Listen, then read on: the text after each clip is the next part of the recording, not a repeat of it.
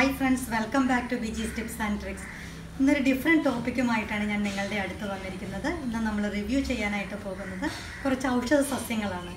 Video കാണുന്നതിന് മുന്നേ നിങ്ങൾ എന്നെ ആദ്യമായിട്ടാണ് കാണുന്നതെങ്കിൽ എന്റെ ചാനൽ സബ്സ്ക്രൈബ് ചെയ്യാനായിട്ട് മറക്കരുത്. സബ്സ്ക്രൈബ് ചെയ്യുന്ന സമയത്ത് തൊട്ട് താഴെ കാണുന്ന ആ ബെല്ലൈക്കൺ കൂടി ഒന്ന് എനേബിൾ ചെയ്താൽ ഫ്യൂച്ചറിൽ ഞാൻ അപ്ലോഡ് ചെയ്യുന്ന എല്ലാ വീഡിയോസിന്റെയും നോട്ടിഫിക്കേഷൻ നിങ്ങൾക്ക് അപ്പോൾ തന്നെ ലഭിക്കുന്നതായിരിക്കും. ഞാൻ എപ്പോഴും പറയാറുള്ളത് പോലെ തന്നെ നിങ്ങൾക്ക് വീഡിയോ ഇഷ്ടപ്പെട്ടിട്ടുണ്ടെങ്കിൽ ലൈക്ക് ചെയ്യാനും ഷെയർ ചെയ്യാനും മറക്കരുത്. ഒപ്പം തന്നെ നിങ്ങളുടെ കമൻസ് എന്ത് തന്നെ ആയാലും അത് കമന്റ് ബോക്സിൽ ഇടാനായിട്ട് മറക്കരുത്. ഇനി നമുക്ക് ടോപ്പിക്കിലേക്ക് കടക്കാം. ഹായ് എല്ലാവർക്കും സുഖമല്ലേ? നമ്മളെല്ലാവരും ഇവിടെ സുഖമായിട്ടിരിക്കുന്നു. ഇന്ന് നമ്മൾ പരിചയപ്പെടാൻ പോകുന്നത് മൂന്ന് ഔഷധ സസ്യങ്ങളെക്കുറിച്ചാണ്. നമ്മൾ അതിൽ പ്രധാനമായിട്ടും കോൺസെൻട്രേറ്റ് ചെയ്യുന്നത് ഈ ഔഷധ സസ്യങ്ങളുടെ ഇലകളൊക്കെ എടുത്ത് ഉണക്കി പൊടിച്ച് എങ്ങനെ ലോങ് ടേം സൂക്ഷിക്കാം. ഈ പൊടിച്ചു വെക്കുന്ന പൗഡർ കൊണ്ടുള്ള യൂസസ് എന്തൊക്കെയാണെന്നാണ്. അപ്പോൾ നമ്മൾ പരിചയപ്പെടാൻ പോകുന്ന മൂന്ന് ഔഷധ സസ്യങ്ങൾ ഏതാണെന്ന് നിങ്ങൾക്ക് അറിയണ്ടേ ഒന്ന് നമ്മുടെ വീട്ടുമുറ്റത്തൊക്കെ എപ്പോഴും കണ്ടുവരുന്ന തുളസി. അതേപോലെ ഇന്ന് വീട്ടുമുറ്റത്തൊക്കെ നമ്മൾ നട്ടു വളർത്തി വരാറുള്ള നമ്മുടെ ആര്യവേപ്പ് അതേപോലെ തന്നെ ചെമ്പരത്തി. ആദ്യമായിട്ട് നമ്മൾ പരിചയപ്പെടാൻ പോകുന്ന ഔഷധ സസ്യം തുളസിയാണ്. അതായത് ഇന്ത്യയിലെ എല്ലായിടങ്ങളിലും കണ്ടുവരുന്ന ഈ തുളസി ഔഷധ സസ്യമായിട്ടും പുണ്യസസ്യമായിട്ടും ഒക്കെ നമ്മുടെ വീട്ടുമുറ്റത്താണെങ്കിലും ക്ഷേത്ര പരിസരങ്ങളിലും ഒക്കെ നട്ടു വളർത്താറുണ്ട്. ഇത് ക്ഷേത്ര പരിസരങ്ങളിലൊക്കെ നട്ടു വളർത്താൻ കാര്യമെന്ന് വെച്ചാൽ അത്രമാത്രം ഔഷധ മൂല്യം കൂടുതലാണ് തുളസിക്ക്. നല്ല വാസനയുള്ള ഒരു സസ്യം കൂടിയാണ് തുളസി. പുറത്തേക്ക് നോക്കുകയാണെങ്കിൽ നല്ല മഴക്കാറൊക്കെ മഴക്കോളൊക്കെ കാണുന്നുണ്ട്. ഒരു മഴയൊക്കെ പെയ്യാനുള്ള സാധ്യതയുണ്ട്. അപ്പോൾ നമുക്ക് ആവശ്യമായിട്ടുള്ള തുളസിയിലയൊക്കെ നമുക്ക് വേഗം നുള്ളിയെടുത്ത് പോകാം.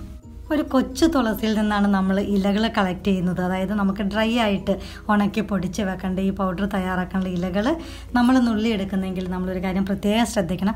അതിൽ ഇലകൾ മാത്രമായിട്ട് നമുക്ക് അടർത്തിയെടുക്കാം അതല്ലെങ്കിൽ ആ തുമ്പ് പോർഷൻ മാത്രം നമുക്ക് ചെറുതായിട്ട് കട്ട് ചെയ്തെടുക്കാം. കാരണം ആ സ്റ്റെമൊക്കെ നല്ല പിഞ്ചായതുകൊണ്ട് നമ്മൾ ഉണക്കി പൊടിക്കുന്ന സമയത്തും നല്ല നൈസായിട്ടുള്ള പൗഡർ നമുക്ക് കിട്ടും. അതേസമയം ഒരു വലിയ തുളസിയിൽ നിന്നാണ് നമ്മൾ ഇലകൾ കളക്ട് ചെയ്യുന്നെങ്കിൽ അതിന്റെ കൊച്ചു കൊച്ചു ബ്രാഞ്ചസ് എല്ലാം നമുക്ക് ഇതേപോലെ കട്ട് ചെയ്തെടുക്കാം. നമുക്ക് ഇതേ ഇത് നല്ല കട്ടിയുള്ള ബ്രാഞ്ചസ് ആണ്. ഇതിലെ ഇലകളൊക്കെ അടർത്തിയെടുത്ത് നമുക്ക് തണലത്തിട്ട് ഉണക്കിയെടുക്കാം. തുളസിയിൽ ഉണക്കി കുറേ നാൾ നമുക്ക് സൂക്ഷിച്ചു വെക്കാൻ പറ്റും. നമ്മൾ അടർത്തി എടുത്തിരിക്കുന്ന ഈ തുളസിയില നമ്മൾ ഉണങ്ങിയെടുക്കുന്ന സമയത്ത് ഒരു കാര്യം പ്രത്യേകം ശ്രദ്ധിക്കണം. ഡയറക്റ്റ് സൺലൈറ്റ് കിട്ടുന്ന ഒരു ഭാഗത്ത് ഇടാതെ ഇൻഡയറക്റ്റ് ആയിട്ട് അതായത് ഒരു പാത്രത്തിൽ നമ്മൾ വെച്ച് ഒരു ക്ലോത്ത് എന്തെങ്കിലും ഉപയോഗിച്ച് നല്ലതുപോലെ കവർ ചെയ്ത് ഇൻഡയറക്റ്റ് ആയിട്ട് അതിലേക്ക് സൺലൈറ്റ് കിട്ടിയിട്ട് ഒരു ടു ടു ഫൈവ് ഡേയ്സിന്റെ ഉള്ളിൽ നല്ലതുപോലെ ഡ്രൈ ആയിട്ട് നമുക്ക് കിട്ടും ഈ ലീവ്സൊക്കെ അത് എന്താ പറയുക ക്ലൈമറ്റിനനുസരിച്ചിരിക്കും നല്ല ചൂടാണെങ്കിൽ ഒരു ടു ടു ത്രീ ഡേയ്സിലൊക്കെ കിട്ടും. അല്ലെങ്കിൽ അഞ്ച് ദിവസത്തിനുള്ളിൽ എന്തായാലും നല്ലതുപോലെ ഉണങ്ങി കിട്ടും. ഇത് നമുക്ക് നല്ലതുപോലെ മിക്സിയുടെ ജാറിലിട്ട് പൊടിച്ച് നല്ല നൈസായിട്ട് സൂക്ഷിക്കാം. അതല്ലെങ്കിൽ ഒന്ന് ക്രഷ് ചെയ്ത് എടുത്ത് വെക്കാനായിട്ട് പറ്റും.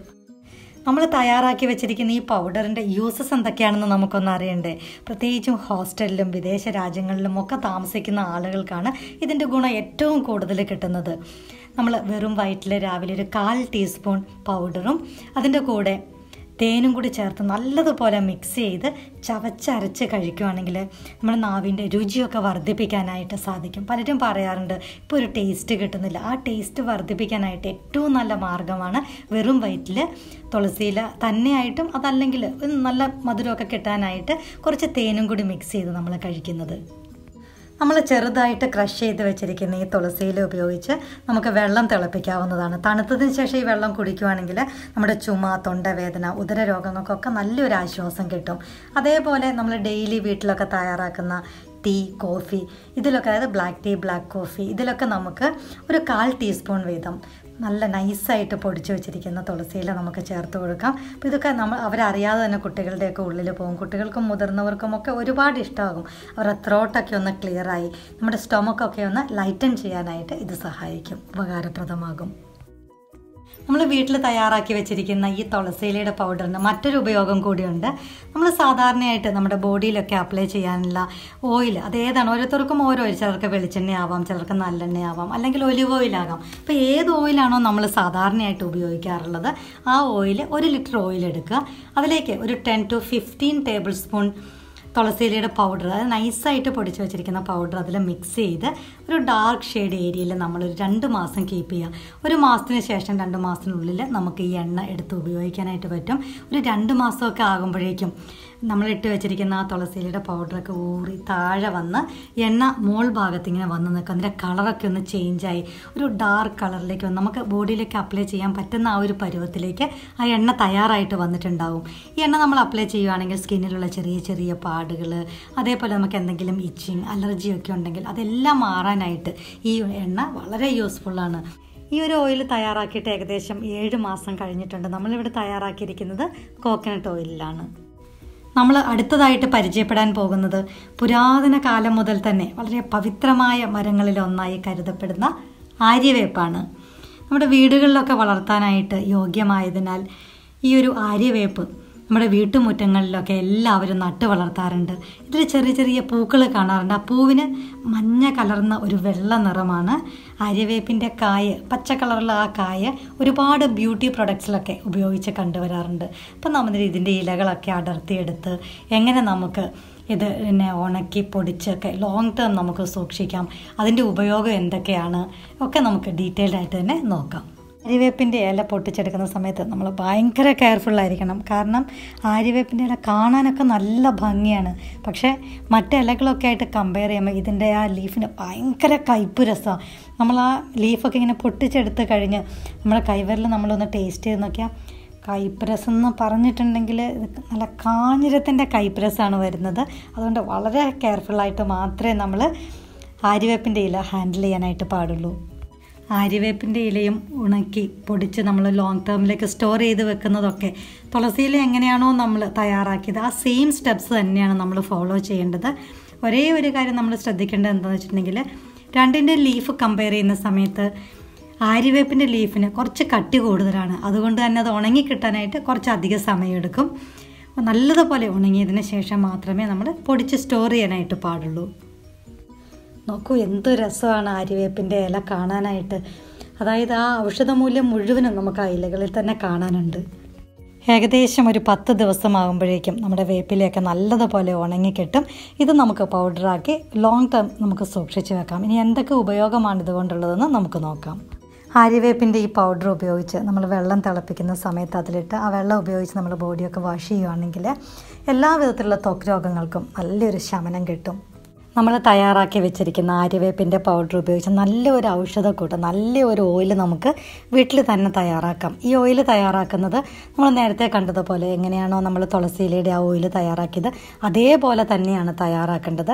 നമ്മൾ മേത്തൊക്കെ അപ്ലൈ ചെയ്യും നമ്മൾ ബോഡിയിൽ അപ്ലൈ ചെയ്യുന്നത് കൊണ്ടുള്ള ഒരു ഗുണം എന്താണെന്ന് വെച്ചിട്ടുണ്ടെങ്കിൽ സ്കിന്നൊക്കെ നല്ല ഭംഗിയായിട്ട് നല്ല സോഫ്റ്റൻ ആയി കിട്ടാനൊക്കെ സഹായിക്കും എല്ലാ ത്വക്ക് രോഗങ്ങൾക്കും.